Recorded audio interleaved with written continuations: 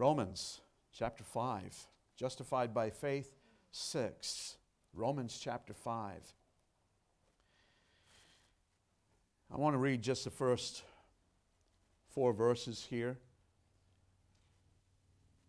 I don't want to bite off more than I can chew. Therefore, since we have been justified by faith, we have peace with God through our Lord Jesus Christ.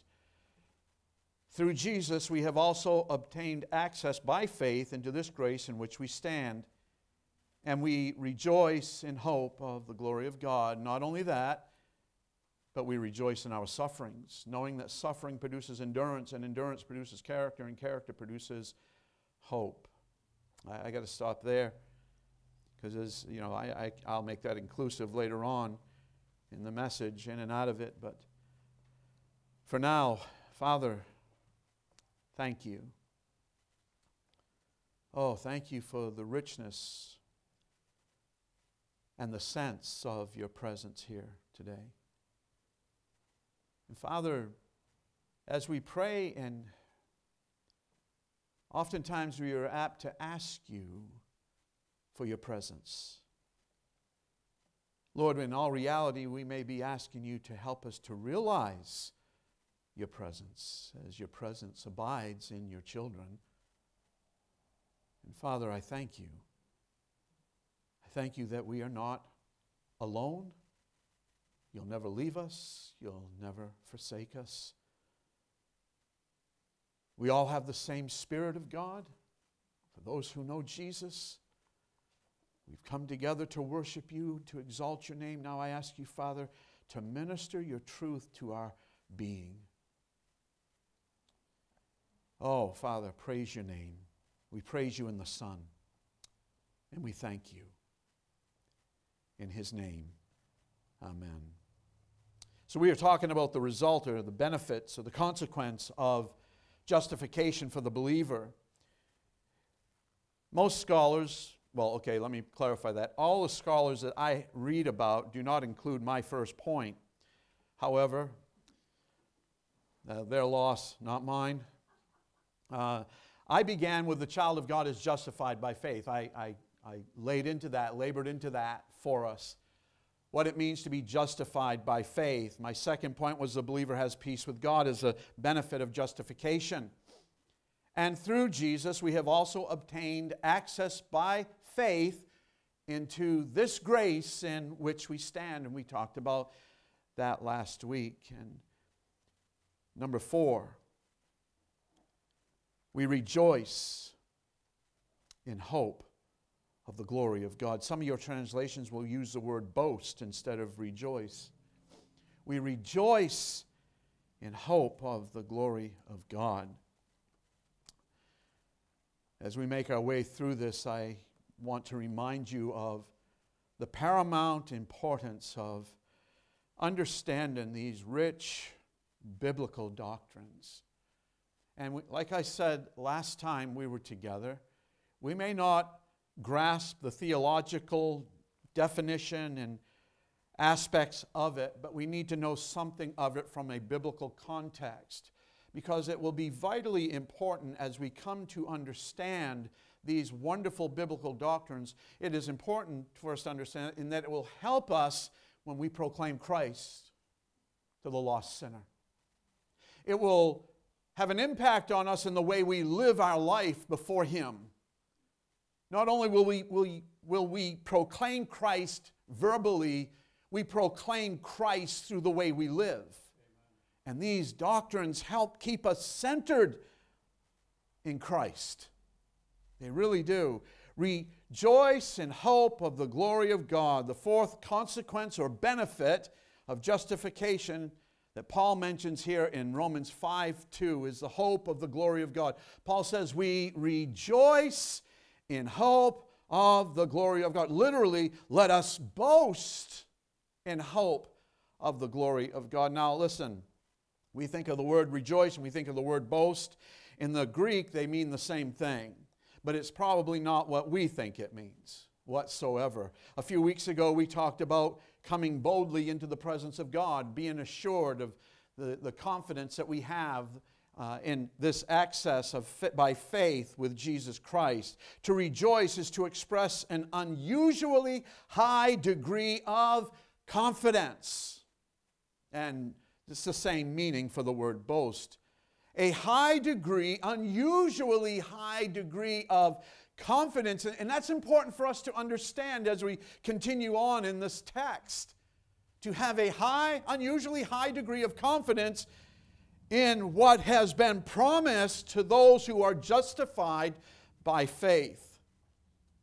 It, is, is it, it becomes exceptionally noteworthy to boast. And it's not as you stick your head high, square your shoulders back, and say, I'm going to boast in the Lord. Paul said, All of our boasting is in Jesus Christ. It's in Christ. Nothing that we have done, nothing that we have attained on our own merits. All that we are, as the scripture says, as Paul says, I am what I am by the grace of God. You are the Christian you are in the positive sense because of the grace of God. Now, don't blame Christ, don't blame God if you are not in the place where you should be. That's for another time, I guess. So it is one thing to rejoice or boast confidently in something that has happened or been achieved. That's easy to do that, right? This is rejoicing with certainty as that one thing has already happened and the person rejoices. It is another thing altogether, however, to rejoice confidently, unusually confident in something that has not yet happened, but is as certain to happen as if it already has happened. Do you need me to repeat that? It is one thing altogether to rejoice confidently in something that has not yet happened, but is as certain to happen as if it already has happened.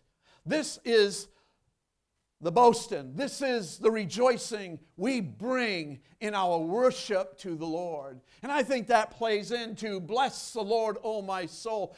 Are you confident in the promises of Jesus Christ for the believer as we come to worship Him? I believe that a mark of spiritual growth is in how we worship God, of whether or not we truly believe what the scriptures say. There are several marks, by the way, that being one factor of it.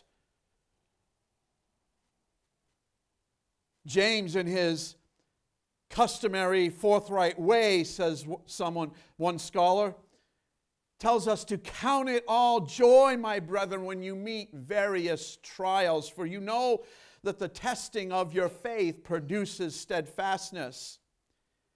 And he says, in case we are inclined to modify these words as the utopian command of one who had not really experienced sorrow, let us remember that James was one of the principal leaders of the Christians in Jerusalem who continually faced persecutions from those outside the church, culminating in his own martyrdom in his 60s, as well as internal dissension associated with a Judaizing element, James surely knew what it meant to meet various trials.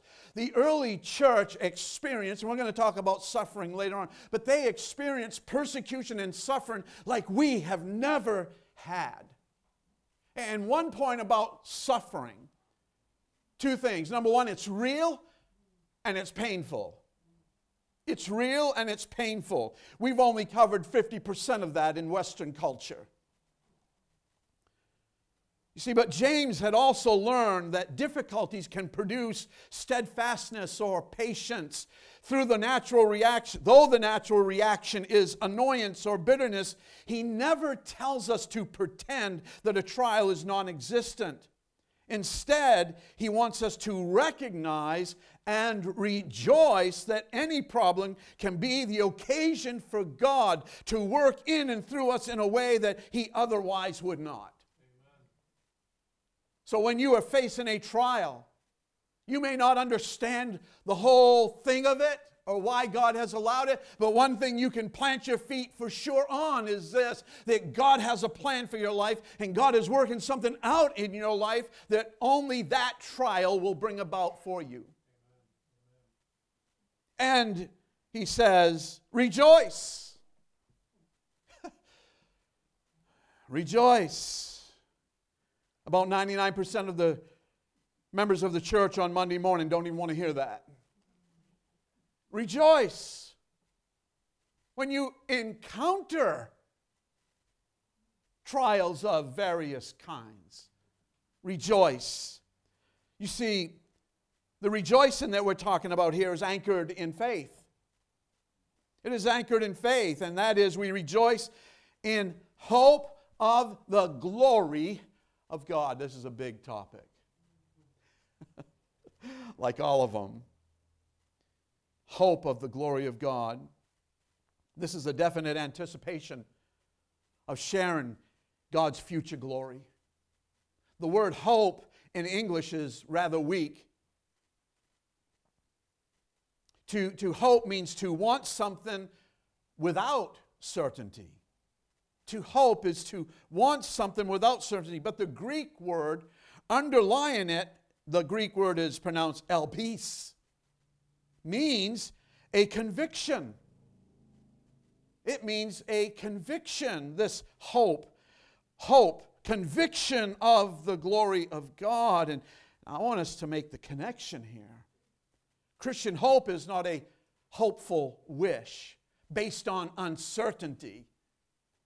Christian hope is not a hopeful wish, it is, it is a hope filled certainty, anchored in our faith.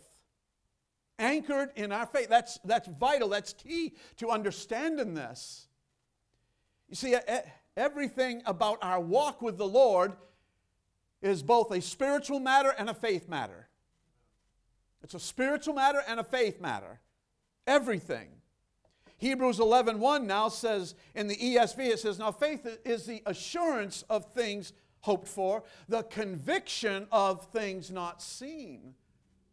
The hope, the conviction, the confidence that we are going to receive something that has not yet happened, but we know for certainty that it is. We live with that conviction. R.C. Sproul says the word hope, elpis in the Greek, is one of the richest terms we find anywhere in the New Testament. It is the gift that God gives to every person justified by faith. It is the gift of God given to every person who is justified by faith. It is a hope that radically, he says, differs from our normal understanding of hope. It sure is. Sure is. Christian hope is not uncertain, it is a joyful and confident expectation which rests on the promises of God. Does that bring comfort? Do the promises of God bring comfort to your soul? Do the promises of God confront you in your trial to remind you to whom you belong and it's going to be okay as you rest in Christ. Are we reminded of those things? Do we find it a first reaction to praise God when encountering a trial or in the midst of a trial, or do we have to sift through the human side of everything first before we get to the place where we look heavenward? Someone told me a long time ago who had been diagnosed with cancer. And I went to visit him, and we were the same age, actually. And he told me, he said, I've never had the spiritual battle of praying and getting in the Word like I have with this cancer. You know, that's normal. I've heard that from so many Christians because faith is called front and center in our life through affliction, through the trial. And yet, he, now this guy is pretty anchored in Christ. Pretty anchored in Christ. And of course, he knew that what he had to do. And he drew near to the Lord. The Lord blessed him in a mar- marvelous, miraculous way. This hope is joyful and confident expectation. Christians should be the most confident people in the world. And expecting people. When we look to the eastern sky, we're not looking at the sunrise. We shouldn't, well, yes, we get beautiful sunrises here in Maine, but what I mean by that is we should expectantly, confidently look to the eastern sky, as the scripture says, knowing that Christ is coming. We can be sure of that. Why do you disciples stand around here gazing up into heaven like you are? As though you're never going to see him again. This same Jesus that has been taken up from you today will come again in like manner, just as he has left, he will come again. And man, those guys went back to Jerusalem and the world got turned upside down. We could be asked the question Do you think that the New England Patriots will win the Super Bowl? And we would probably answer humbly now, for us Patriots fans, I don't know, but I hope so. I, I don't know, but I, I hope so. The use of the word hope expresses the, the desire that certain things will come to pass, but we have no assurance that they will.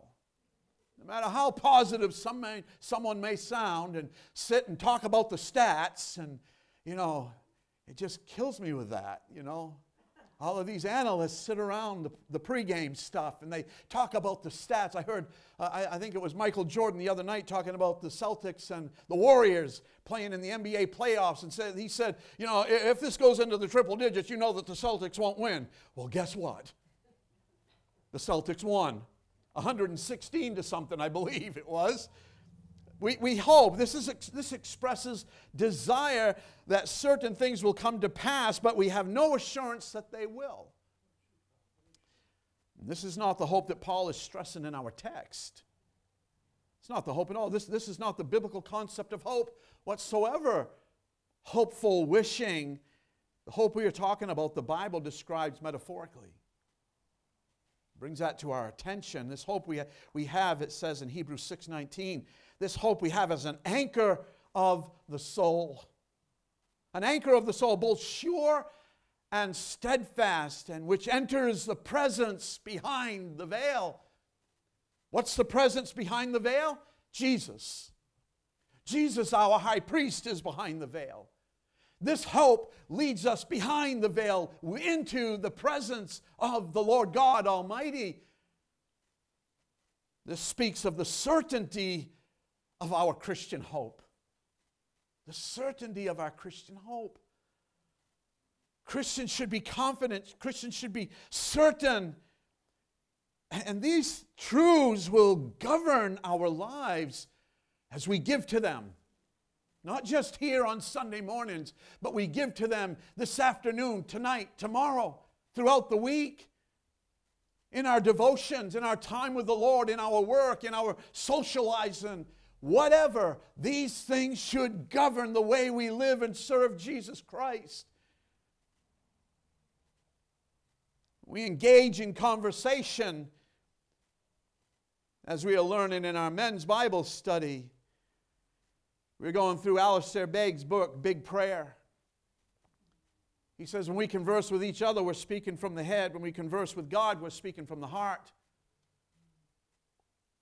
We need to learn how to converse with God in all things, even as we converse with each other, and not compartmentalize it. You know, I've done my, my 20 minutes of prayer, Bible reading. Uh, today, I, I can get on with my day now and enjoy my day. Compartmentalizing. And Paul says the attitude of prayer should be unceasing in our life we have an anchor, this hope that we have in Jesus Christ. This hope we have, I like that the words we have, this hope we have in Hebrews 6:19. We have, it means we've obtained it We own it. We possess it. It's been given to us as a gift. This, this hope we have as an anchor, it ensures safety. I, I, this, in describing sure and steadfast, isn't talking about just an anchor, it's talking about the hope you have in Jesus Christ. Let's break from the metaphor here. I mean, some of you that were in the Navy or have boats with anchors on them, uh, you, you, you can relate with this. An anchor is to ensure safety and prevent or restrict movement in the water, prevent your boat from taking off with the wind, from going every which way, being tossed and truth and tossed to and fro with every wind of doctrine, James 1 7 and 8. This hope keeps us anchored. This hope keeps us stable. A double minded man is unstable in all his ways, James says. The one, the Christian who is not confident in this hope, is unstable. I don't like to be around unstable people.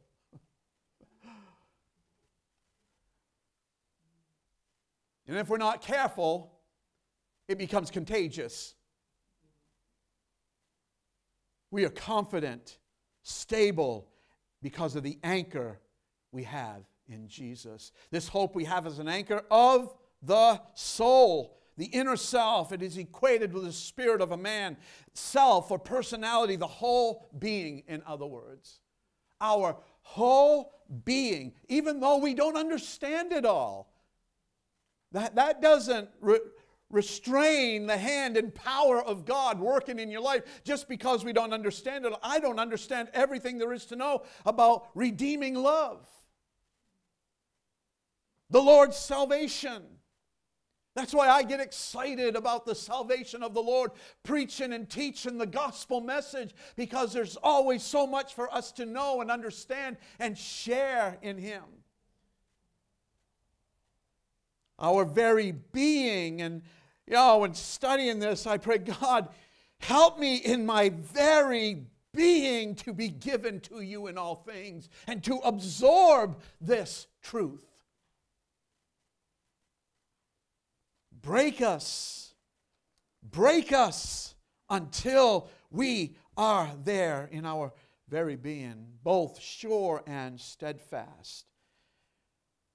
Jesus gives us this gift of hope that is sure and steadfast, confident. Again, confident, assuring, comforting, huh? Comforting. And which enters the presence behind the veil. Hmm. This hope takes every believer, every believer behind the veil where Jesus has entered as our high priest. That's big stuff, by the way. That's important stuff. Man, that's. Uh, we have so much in Jesus. So much in Jesus. I, I, I truly pity the Christian who never arrives at the place of fully embracing this through grace. I've known Christians who will die never fully confident here, never embracing the grace that God has given to us, this hope that we have.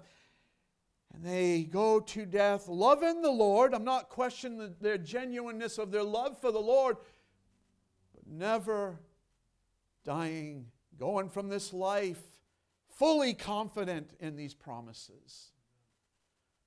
I truly pity them. I do. In the new in the translators New Testament it says of Hebrews 6:19 this hope is ours. It is like an anchor for our souls. It is sure and firm.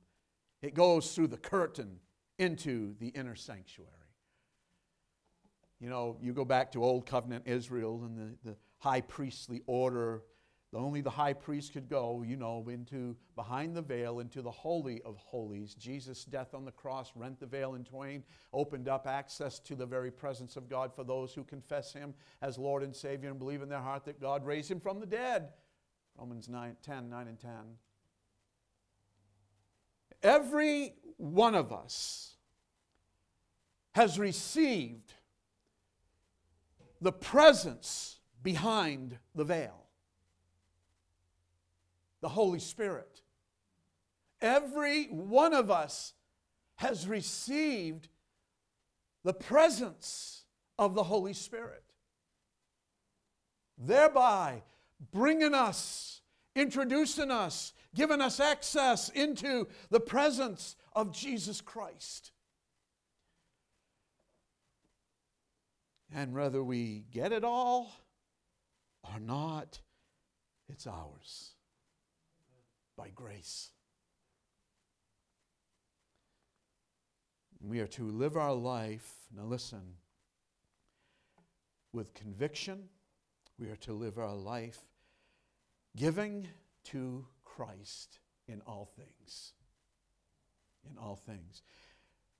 If we sin, and we go to this all the time, if we sin, we do have an advocate with the Father. Jesus, the righteous.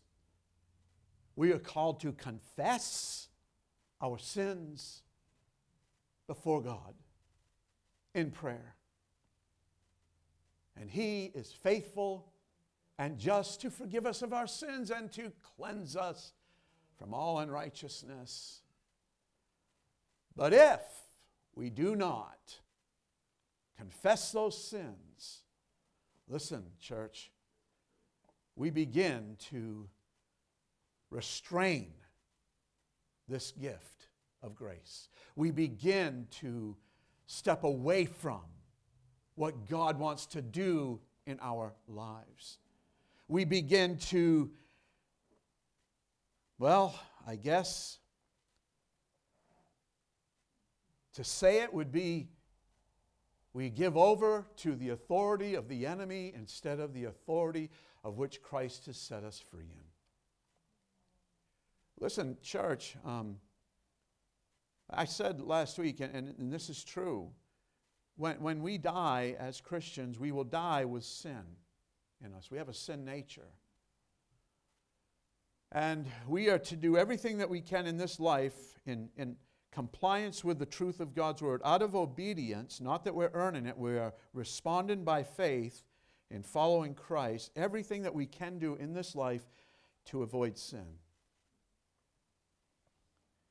And when we do, and we will, we need to quickly take it to the throne and not continue in it. Not continue in it. Because you have been washed, you have been sanctified, you have been justified.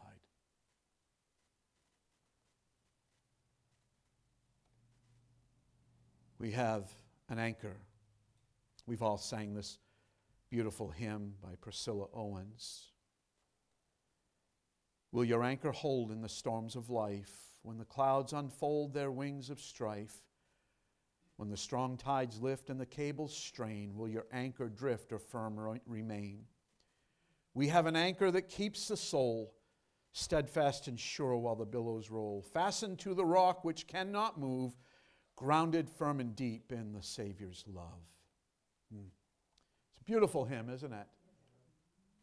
To remind us of what we have. Oh, church, why would anybody, why would we as Christians want to live anything less than what God has provided for us? Why?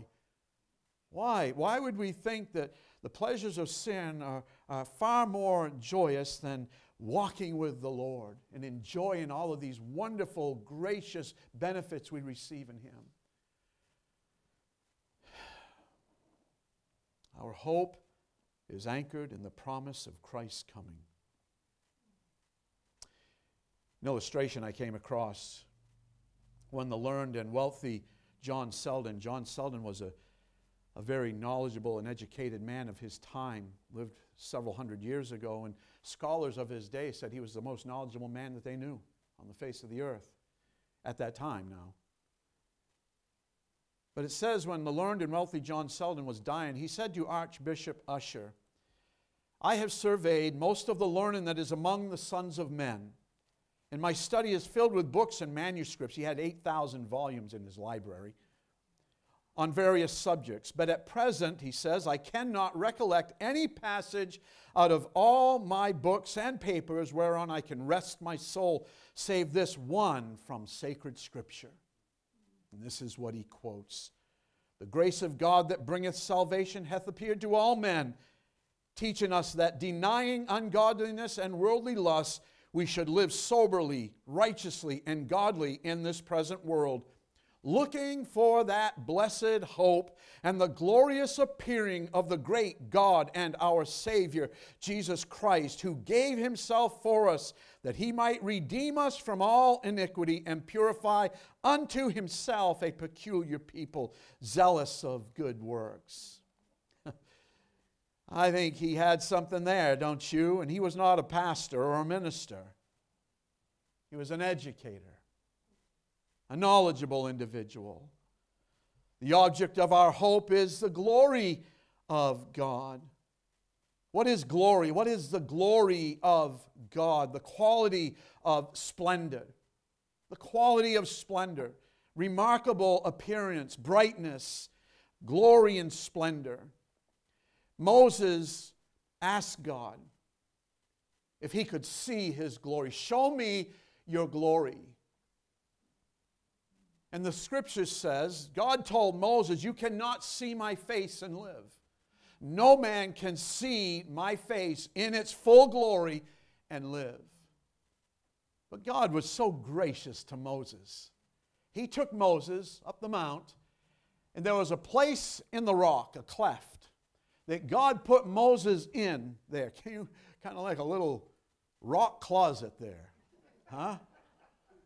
And he puts Moses in there and he puts his hand over the opening so Moses can't see. The Bible says that the glory of God began to pass by. And God Himself was shouting shouts of deliverance concerning His name. And as the glory of God went by, God slightly brought His hand back so that Moses would see the hinder part of His glory. Moses goes down from the mount after that, and people can't even look at him. He is glowing with such radiance in such a way that he had to veil his face. But that glory began to fade over time. And Paul makes the contrast of that fading glory to that of the law in contrast to grace the grace that we have received in Jesus. Because the greater has replaced the lesser, the stronger has replaced the weakened. The high priesthood of Jesus Christ has replaced the law of Moses. Because he is the Son of God. And he has accomplished all things for us to know and be reconciled to the Father. God's glory is how we describe the sum effect of all of his attributes grace, truth, goodness, mercy, justice, knowledge, power, eternality. All that he is, all that he is. We sum it up by saying it's God's glory. Therefore, the glory of God is intrinsic. Glory of God is intrinsic. That is, it is as essential to God as the light is to the sun, as blue is to the sky, as wet is to water. You don't make the sun light, it is light. You don't make the sky blue, it is blue. You don't make water wet, it is wet. In all of these cases, the attribute is intrinsic to the object. In contrast, man's glory is granted to him. The glory that we have of this flesh has been granted to us. If you take a king and take off all his robes and crowns and give him only a rag to wear and leave him on the streets for a few weeks, when put next to a beggar, you'll never know the difference after a couple of weeks go by and you see him out there on the street. Because that king's glory is not intrinsic of himself. His glory is his crown and his clothes and his position given to him. He has no intrinsic glory. And that's the point here. That's the point. The only glory that men have is granted to them. The glory that God has is His in His essence. You, you can't de-glory God because glory is His nature. Glory defines Him. You can't touch His glory. It cannot be taken away. It cannot be added to. It is His being. And we spend time thinking about the glory of God and we try to put it into words, words that express His glory. It may be that the only word we can use is greatness. That's where I am. In our human, finite way of thinking, we oftentimes cannot put into words exactly what it is that has moved our very soul at the thought of God. The word greatness helps me to do just that. Greatness, majesty. I'll close with this. In 1715, Louis XIV of France died. Louis, who called himself the Great, was the monarch who made the infamous statement, I am the state. Pretty pompous, wasn't it? His court was the most magnificent in all of Europe. And his funeral was spectacular, recorded for us.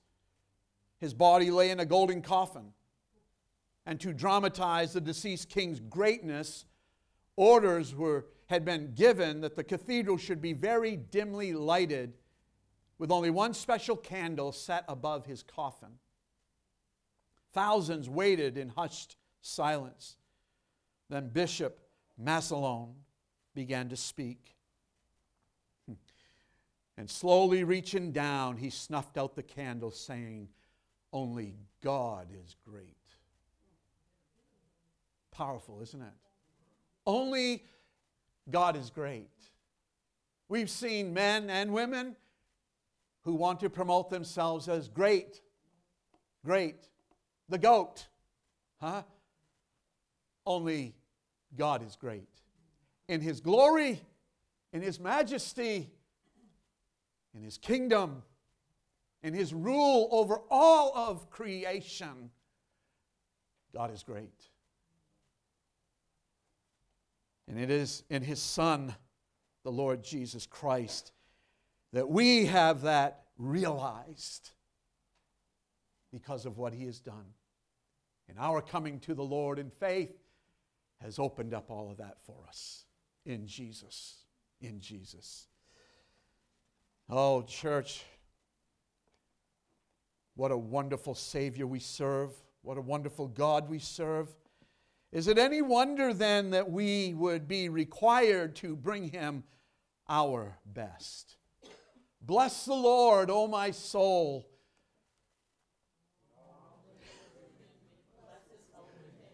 Amen. Amen.